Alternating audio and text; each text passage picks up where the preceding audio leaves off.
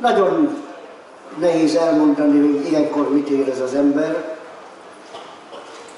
Annyit egy emberöltő óta megy ez a rendezvény, igen boldoggá tesz engem. Nem csak azért, hogy itt állok önök előtt, vagy itt állhatok, hanem az, hogy valami két marokra fogva megmaradt.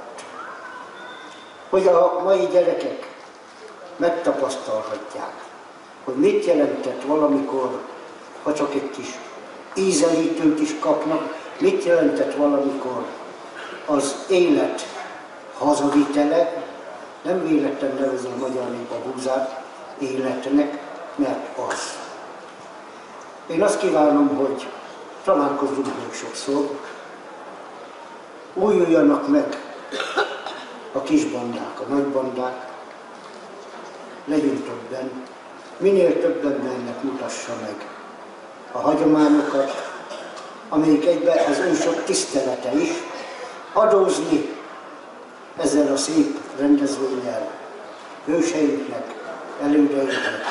Isten áldja meg őket, és áldjon meg titeket is. Köszönöm.